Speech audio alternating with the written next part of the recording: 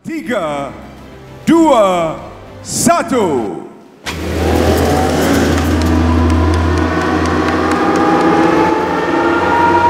Melalui pembukaan laluan ini, kerajaan yakin kawasan sepanjang jajaran seperti Jinjang, Sungai Buloh, Kepung dan Bandar Sri Damansara akan membangun lebih pesat setara dengan kawasan-kawasan di bandar lain. Laluan ini juga dijangka mencetus dan merancakkan semula pembangunan di kawasan-kawasan lama, kawasan-kawasan yang lama atau yang belum dibangunkan sebelum ini.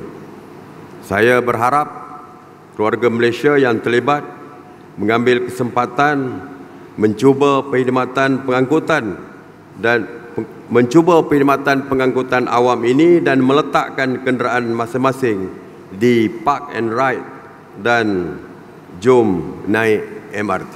Kita memahami tentang kesusahan rakyat pada hari ini terutamanya yang ketika peningkatan harga barang yang sedikit membeban yang membebankan rakyat kita faham kos hidup semakin meningkat oleh itu sempena pembukaan rasmi MRT laluan Putrajaya fasa 1 saya dengan sukacitanya mengumumkan pemberian perkhidmatan percuma bagi semua pengangkutan awam di bawah kendalian Rapid KL iaitu MRT, LRT, BRT, monorail serta bas Rapid KL selama satu bulan mulai